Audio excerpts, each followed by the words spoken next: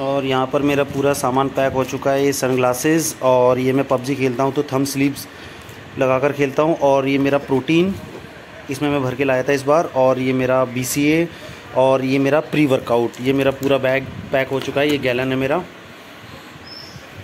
तो बस अभी जाने की तैयारी है पूरी। आप ब्लॉगिंग कर रहे हो क्या? वीडियो ब्लॉगिंग बना रहे हो क्या? ब्लॉगिंग कर रहे हो क्या? हैं। अच्छा। चैनल का नाम क्या है आपके बताओ? ये देखो हमारे पापा भी ब्लॉगर बन गए हैं, देखना। ये देखो ब्लॉगिंग कर रहे हैं ये। ये देखो मेरे पापा ने व्लॉगिंग स्टार्ट कर दी है और अभी उन्होंने वीडियो रिकॉर्डिंग की है कुछ। तो ये देख रहे हैं खुद की वीडियो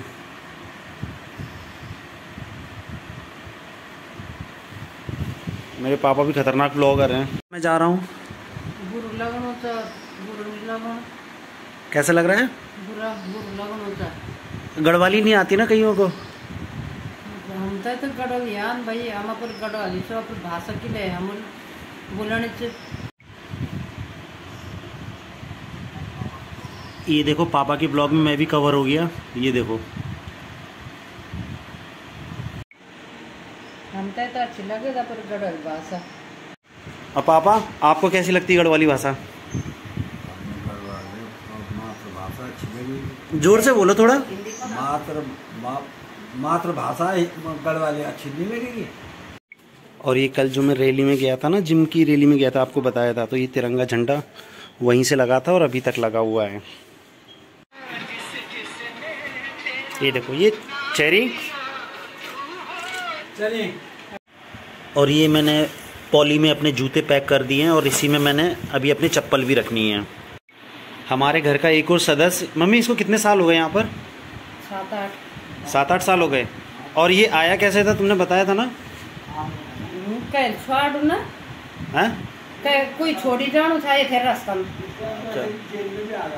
कितना छोटा था ये तब? छोटा। पापा तो बोल रहे हैं इतना छोटा था कि जेब में भी आ जाएगा। कि पापा इतना छोटा था? होते हैं ना। अच्छा।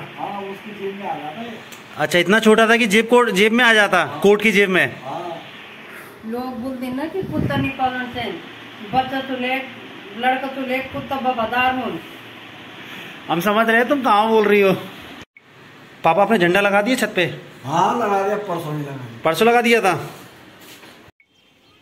ये देखो यहाँ पर पापा ने झंडा लगा दिया है।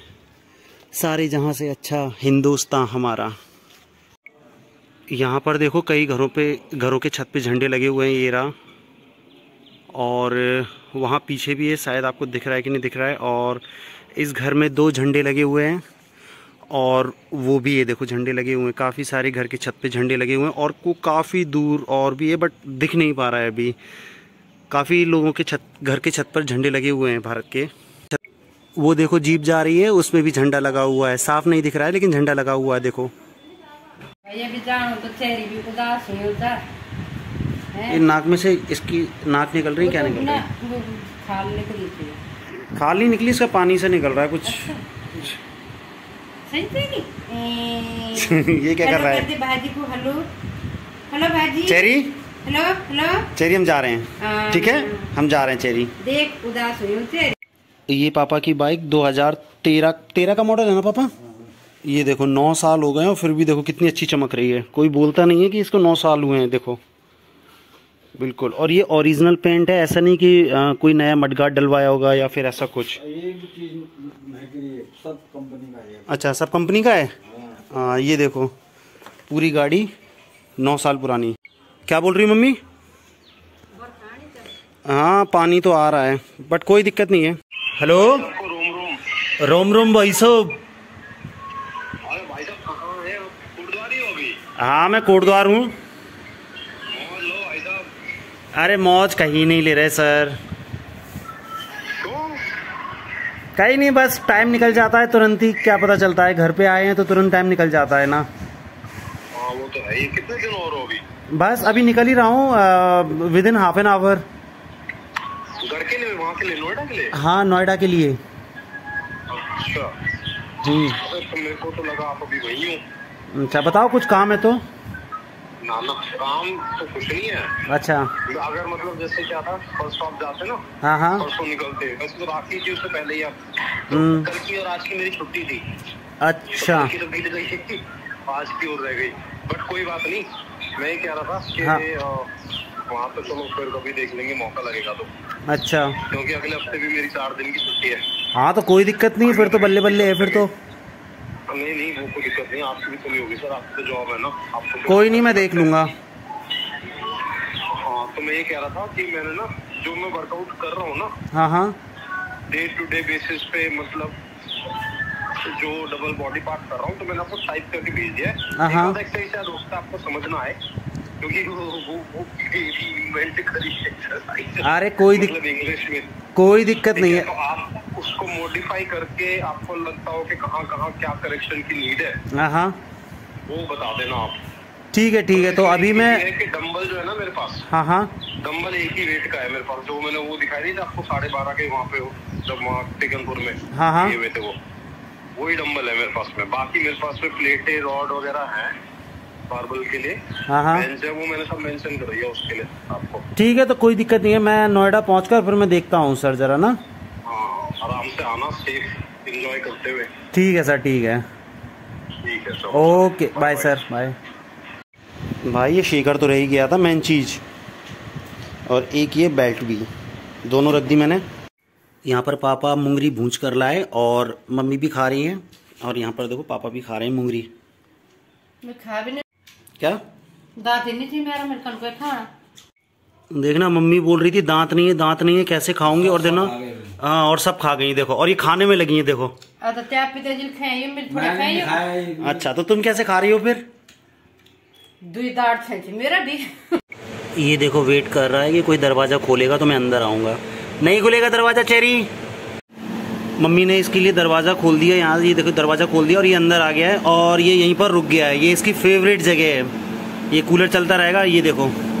बस यहाँ पर ये ऐसे ही खड़ा रहेगा। ये इसकी फेवरेट जगह कहीं नहीं जाएगा अब। हाँ चेरी। अच्छा लग रहा है? अच्छा अच्छा अच्छा अच्छा लग रहा है ना? तो ये पहले सामान मैं गाड़ी में रख देता हूँ पहले। लाओ ये और ये मिठाई रख देता हूँ यहाँ पीछे ट्रे में। और शेकर। इसमें पानी भरा है मैंने, और वैसे प्रोटीन पीता हूँ। ये आ जाएगा यहाँ पर, पानी पीने के लिए। ये तो फैल रहा है मम्मी, तुमने टाइट नहीं लगाया क्या? मम्मी ने इसका ये ढक्कन टाइट करके नहीं लगाया था। ये मम्मी पिठाई लगाने के लिए ले आई हैं। पैसे ये सगुन माना जाता है हमारे यहाँ पर। जब भी कोई जाता है घर से तो तो पिठाई लगाई जाती है उनको।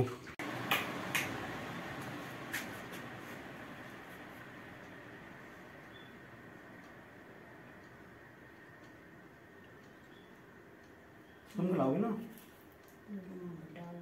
पैसे दो पैसे पैसे पैसे।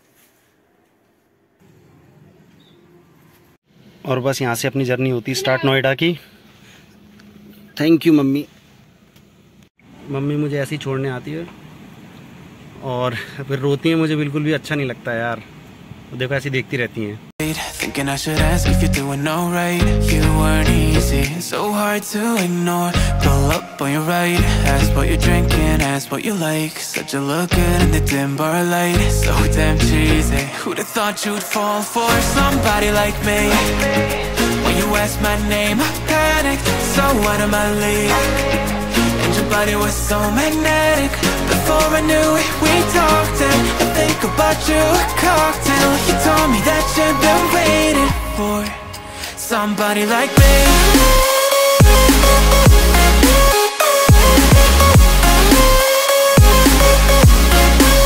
Somebody like me.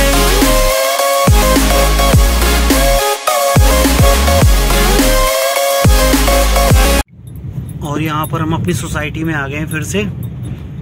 Back to pavilion तो अब फिर से वापसी हो गई है नोएडा में। और घर से आने का सच में दिल से बोल रहा हूँ घर से आने का बिल्कुल भी मन नहीं कर रहा था। ये चार दिन कितनी जल्दी निकले बिल्कुल भी पता नहीं चला। ऐसा लगा कि जैसे कल ही तो मैं आया था और आज वापस जा रहा हूँ।